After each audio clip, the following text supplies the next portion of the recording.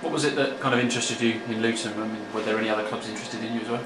Yeah, there was a few to be honest, but um, just coming here, the size of the club obviously, I know it's a big club, and mainly want to achieve something. Because um, I spoke to a lot of people here, and I come here for a meeting. That's my second time here now, and I'll come here for a meeting, and you could just tell straight away they wanted to be going places, and that's that's what I want to do. I don't want to just be happy with a mediocre team sitting in the middle of the league. Happy with that. I want to be a team that wants to push on and wants to fight for promotion and, and things like things like that.